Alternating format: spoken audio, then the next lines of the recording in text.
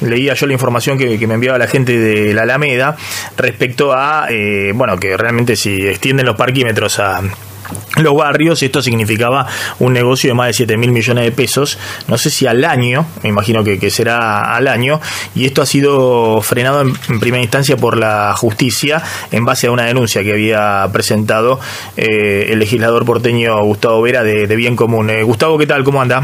¿Cómo estás, Maxi? Buen día.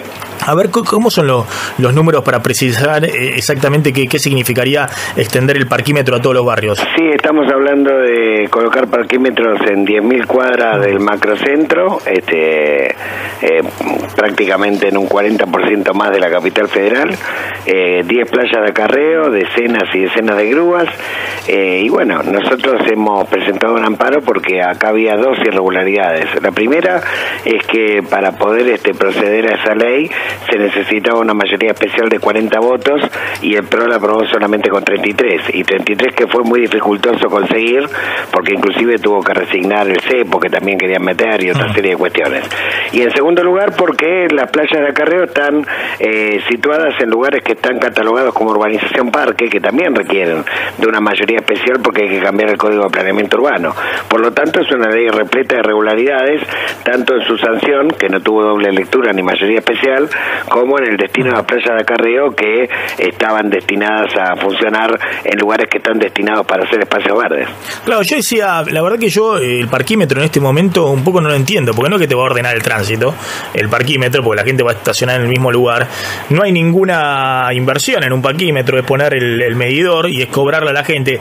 Ahora, si me dicen, no sé, están haciendo playas subterráneas en los barrios y esas playas subterráneas se pueden eh, financiar de tal o cual manera, pero eh, el proyecto cómo es, simplemente poner parquímetro. el proyecto es poner parquímetro, recaudar 7.200 millones de pesos a costa de imponer más presión tributaria sobre, sobre los porteños y los bonaerenses que vienen a trabajar.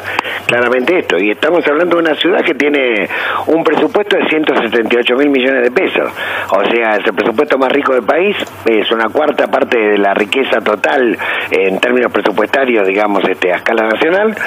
Vos compararlo, por ejemplo, con Matanza. Matanza tiene casi la misma cantidad de habitantes y se administra con 6.500 millones de pesos. Acá tenés 23 veces el presupuesto de Matanza. Entonces, decime qué necesidad de imponer, digamos, este más, más y más y más presión tributaria impositiva, en este caso sobre los automovilistas, este iba a ser un negociado de garajes, de parquímetros, etcétera, y más considerando que hay algunos garajes subterráneos que funcionan en espacios concesionarios este, de manera irregular, como Playa Subterránea Sociedad Anónima, que pagan cero canon, ah. lo que estás escuchando. Por ejemplo, el estacionamiento que vos tenés abajo de la Plaza Congreso no paga canon.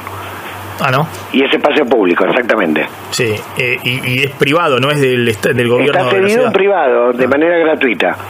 O sea que el privado recauda todo sin pagar canon. Exactamente. Con lo cual no se están tratando de boludos, perdón por la expresión, ¿no? No, no, bueno, eso obviamente, claro, hay que reverlo, ¿viste? Pues si no es un negocio. Para eso, para eso, para eso que le estaticen. Y naturalmente. Y aparte, aparte entre toda la plata para el Estado, la ciudad. No, pero aparte, escúchame, con este presupuesto mm. de 178 mil millones de pesos, tenés un millón cien mil porteños que no pueden llegar a fin de mes. Y esto según la propia Dirección de Estadísticas y Censo. 154.000 en la indigencia, datos del último trimestre del 2016. Eh, 324.000 en la pobreza y eh, 452.000 eh, personas que están consideradas clase media frágil. O sea que en cualquier momento se pueden caer en la pobreza. Tienen un presupuesto solo para afrontar la pobreza de 8.200 millones de pesos. El presupuesto que tienen para afrontar la pobreza es superior a todo el presupuesto de Matanza y de Merlo juntos. Ah. Entonces explícame, ¿qué hacen con la plata? Este muchacho. Vera, gracias. No, gracias a vos. Ahí está Gustavo Vera, legislador porteño de Bien Común.